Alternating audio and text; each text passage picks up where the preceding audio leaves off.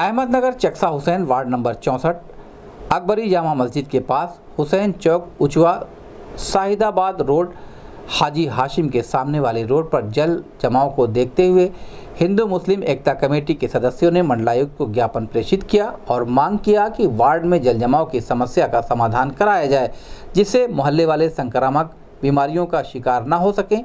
इस संबंध में हिंदू मुस्लिम एकता कमेटी के संरक्षक शाकिर अली सलमानी ने कहा कि नगर निगम बजट पास होने के बावजूद भी वार्ड में काम नहीं कर रहा है जिसे नागरिकों में आक्रोश व्याप्त है। इस संबंध में गोरखपुर न्यूज़ से बात करते हुए शाकिर अली सलमानी ने कहा।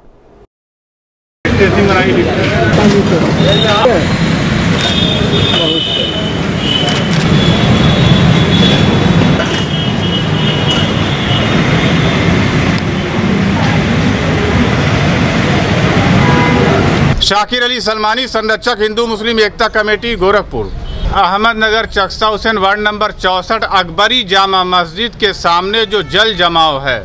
और हुसैन चौक उचवा हाजी मुखिया के घर से लेके अकबरी मस्जिद तक जम जमाव है। और आज महीनों से कीचड़ पानी में हम लोग मस्जिद जा रहे हैं नमाज़ पढ़ने।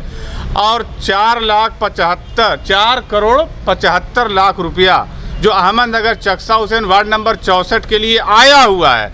हमारी ये मांग है कि उन पैसों से अहमदनगर चक्सा हुसैन के जल जमाव की समस्या को दूर किया जाए। माननीय मुख्यमंत्री कार्यालय के बगल में अहमदनगर के वासी हम लोग रहते हैं और सालों से हम लोग जल निकासी से परेशान है। कोरोना काल है, गंभीर बीमारियों से हम लोग परेशान हैं। वहाँ पर कीचड़ का पानी है और इस तरह की हालत है कि बड़े बुज़ुर्ग कहीं जा नहीं सकते। मुख्यमंत्री के पड़ोसी होने के नाते हम ये चाहते हैं कि हमारी बदहाली दूर होनी चाहिए। हम लोग हाउस टैक्स देते हैं, अहमदनगर के वासी, हम लोग बिजली का बिल देते हैं वाटर टैक्स देते हैं। हम लोग जंगल में तो है नहीं, मुख्यमंत्री के क्षेत्र में है। उसके बावजूद, माननीय मुख्यमंत्री के आदेश के बावजूद, स्वच्छ उत्तर प्रदेश, स्वच्छ गोरखपुर होना चाहिए था, मगर मेयर और नगर आयुक्त अहमदनगर में अभी तक दौरा नहीं किए कि कैसे अहमदनगर के लोग जी रहे हैं। हमारे बच्चे स्कूल नहीं जा पाते, हमारे घर इसलिए मेरी मांग है कोरोना काल पर अहमदनगर वालों पर रहम करो।